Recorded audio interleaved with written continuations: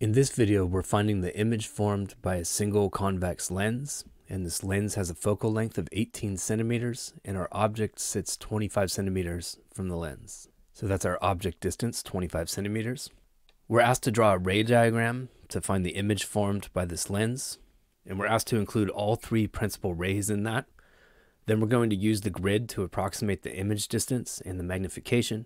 Finally, we'll use the thin lens equation and the magnification equation to calculate the image distance and the magnification and round it off to 3 sig figs. So we start by getting in our principal rays. First is the one coming in parallel to the principal axis, and that's going to be refracted through the focus. Next, we'll do the principal ray that passes through the center of the lens, and that's unrefracted. And finally, we'll do the principal ray passing through the near side focus, and that's going to be refracted parallel to the principal axis. We see all three of these rays converging to a point, right about here. So that's where the image of the arrowhead will form.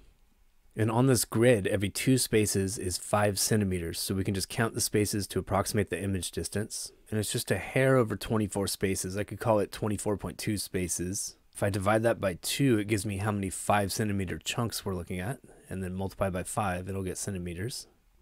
And I get 60.5 for this.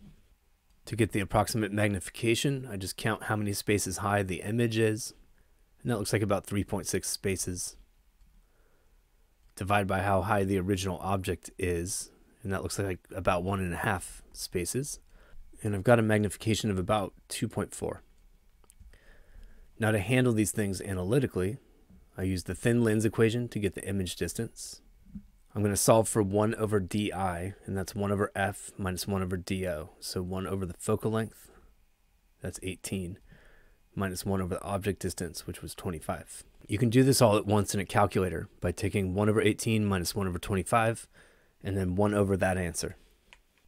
And I get 64.3 for the image distance.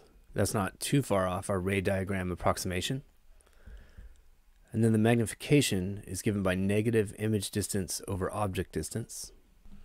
And that gives me negative 2.57, which reminds me I should have put a minus sign on the first one. The minus sign means the image is inverted compared to the object. So both of these miss by several percent error.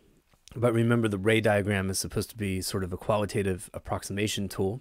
And then you can get your precise answers by using these equations. If you find the physics content on Zak's Lab helpful, click on the Zak's Lab logo on the right to browse playlists and subscribe to the channel.